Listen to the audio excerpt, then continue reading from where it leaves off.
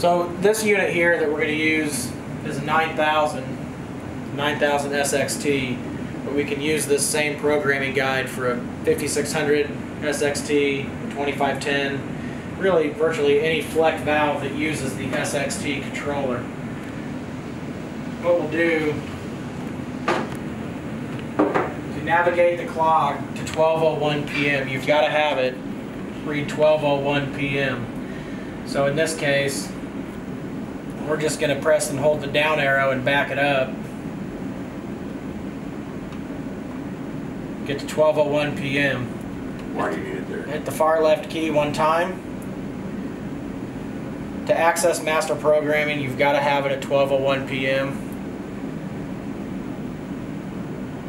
When 12:01 p.m. comes back around on the screen, you'll press and hold your up and your down keys simultaneously, and it'll give you your first screen. DF means downflow, and we want gallons.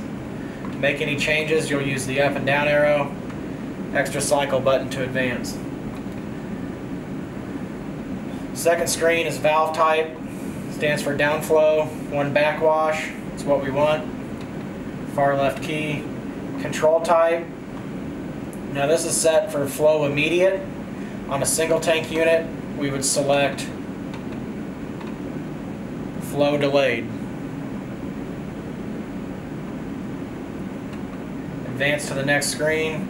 Again, this is a twin alternating unit, so NT, number of tanks, two, single tank unit, obviously you'd want one. Far left key to advance. TS, telling us tank in service. In this case, it's tank two. Uh, on single tank units that use the SXT control, this is irrelevant. Far left key to advance. C for capacity. This is relative to how much resin is inside the tank. In this case, we're going to set it for 63. Far left key to advance. Hardness. At this site, we've got it set for 32 grains. Um, your site will most likely be different. Far left key to advance. RS stands for reserve selection, and we want to do a safety factor here.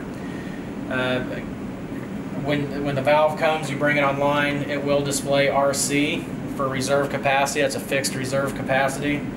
We're going to hit the down arrow and change it to safety factor. I like to use this for both twin tank and single tank units. Far left key to advance. In this case, we're going to save 15% of our capacity. 15% is pretty good for folks that, for households that have between one and three people in the home. Above that, depending on your usage, this can be tailored, uh, but depending on your usage, you may want to go 25%. Far left key to advance. DO stands for day override. On this one, we've got it set for 14 days every two weeks. Simply means the unit will regenerate as needed based on usage or every two weeks, whichever comes first. Far left key to advance. RT stands for regen time. We've got it set for 2 a.m., although with a twin alternating unit, although we do have a program for 2 a.m., it'll regenerate when it needs. Far left key, backwash, we want to set for 10 minutes. Brine draw, 60 minutes. Rapid rinse, 10 minutes. Brine fill is 16 minutes in this case.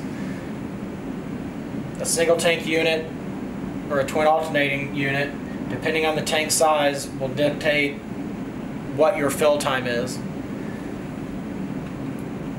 Far left key, this is flow meter type. In this case, we're using a one inch paddle.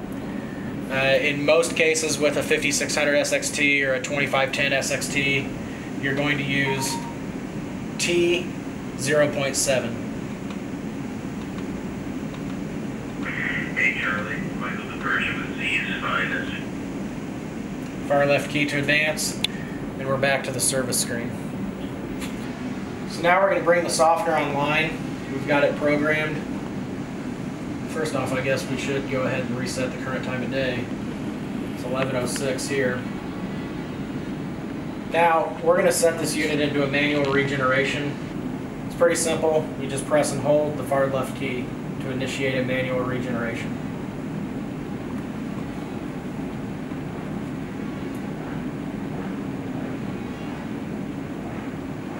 Now this will take some time because it's, it's, it's got a swap piston. Alright, so we've got the unit, set it into a manual regeneration. It's settled into the backwash cycle. You can hear the, the drain the unit's purging a lot of air. Now in this case, again, it's a foot alternating unit, so we're only doing one tank right now. We'll need to repeat this process a second time. But we'll allow the unit to count down through its 10 minute backwash cycle. Once the backwash cycle concludes, the unit will go to step number two, which is brine draw. In which case we'll skip over the draw portion. We don't need to stand here for an hour and watch it. It will settle into step three, which is rapid rinse, but we'll follow back up after this time is gone, and we'll cover that here in a moment. Backwash cycle is nearing an end here, 30 seconds left. For the purpose of the video here, we're going to go ahead and advance it. Anytime you've got the clock displayed on the screen of the cycle you're in, if you hit the far left key one time, you can advance to the next step. So here in a moment, you'll see it settle into brine draw, which will be set for 60 minutes. As I mentioned previously, we're going to skip over that and go to rapid rinse. Then we'll continue on with the 10 minute rapid rinse cycle. Now that our rapid rinse is done, we're going to hit the far left key one time. To advance to the brine fill cycle. And now we'll just leave it alone. This will set the pre-programmed time for brine fill, the amount of water in the brine tank. It'll set it exactly where we want it to be. So at this point, the fire up at this unit's over. Or, or rather, if you had a single tank, it would be over. Since this is a twin alternating, we would then want to go and backwash and rinse the second tank, but you wouldn't need to go through brine draw, and you wouldn't need to go through brine fill since we're doing it here. All right, so just to sum up what we've done here, we've got the softener installed, we fired it up, programmed it. What you can expect from here on, the cold water will be soft immediately. If you've got a traditional tank style water heater, once you flush out what's in that tank, it'll fill back up with soft water. If you've got tankless water heaters like we've got here at this house, your, your hot water will be soft immediately. Moving forward, I'll show you here. We've already filled the salt tank with salt.